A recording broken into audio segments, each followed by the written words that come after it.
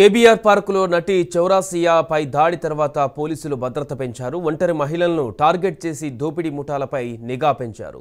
మఫ్టీలో పోలీసులు ఎప్పటికప్పుడు ప్రతి ఒక్కరిని గమనిస్తున్నారని పోలీసులు వెల్లడించారు. పార్కు చుట్టూ సీసీ కెమెరాలను రిపేర్ చేసి ప్రతి కెమెరాలోని ఫుటేజీలను తీక్షణంగా పరిశీలిస్తున్నట్టు తెలిపారు. ఇప్పుడు ప్రతి ఒక్కరూ స్వేచ్ఛగా వచ్చి వాకింగ్ చేసుకోవచ్చని పోలీసులు భరోసా ఇస్తున్నారు. కేబీఆర్ పార్కులో సెక్యూరిటీపై మరిన్ని వివరాలు మా ప్రతినిధి పవన్ అందిస్తారు.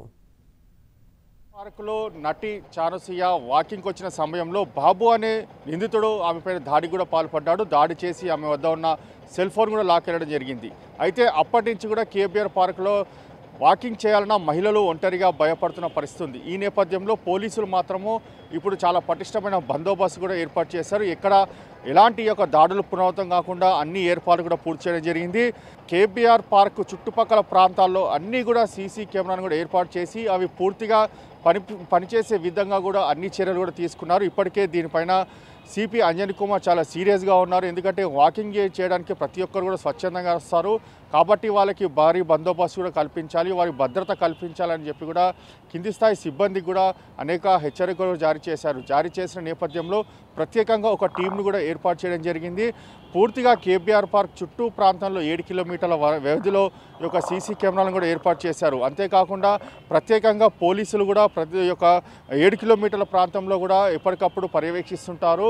ఎందుకంటే రాత్రిపూట సమయంలో వాకింగ్కి వచ్చిన సమయంలో ఎవరు కూడా ఎలాంటి దాడులు జరగకుండా ఒంటరిగా ఉన్న మహిళలను టార్గెట్ చేసి వారిని దాడి చేసి వారి వద్ద ఉన్న వస్తువులు ఎత్తుకెళ్తున్న ఘటనలు కేపీఆర్ పార్క్లో కూడా చాలాసార్లు పునరావృతమయ్యాయి. కానీ ఈసారి మాత్రం అలా కావద్దు అనే ఒక ఉద్దేశంతోనే పోలీసులు అన్ని చర్యలు తీసుకుంటున్నారు. అయితే ప్రస్తుతం మాత్రము కేబీఆర్ పార్క్ వద్ద మాత్రము చూసినట్లయితే పోలీసులు ఇప్పటికే ఎప్పటికప్పుడు కూడా గస్తీని కూడా పెంచడం జరిగింది. గస్తీని పెంచి ఎవరికి ఇలాంటి అపాయం కాకుండా పూర్తిగా చాలా భద్రత కూడా ఏర్పాటు చేశారు. ఎందుకంటే ఒక మాజీ కానిస్టేబుల్ కూడా ఒక వ్యక్తి పైన కూడా ఏకే ఫార్టీ సెవెన్తో కూడా దాడి చేయడం జరిగింది. అప్పుడు కూడా పోలీసులు భారీ బందోబస్తు ఏర్పాటు చేసిన ఇలాంటి పునర్ పునరావృతంగా ఒక ఘటన కూడా అయిన నేపథ్యంలో ఇలాంటి ఘటనలు ఇప్పుడు మాత్రం కావు అని చెప్పి చాలా పోలీసులు ఖచ్చితంగా హామీ కూడా ఇస్తున్నారు. ప్రతి ఒక్కరు కూడా స్వచ్ఛందంగా వచ్చి వాకింగ్ చేసుకోవచ్చు అనేది మాత్రము పోలీసులు చెప్తున్నారు. Over to studio.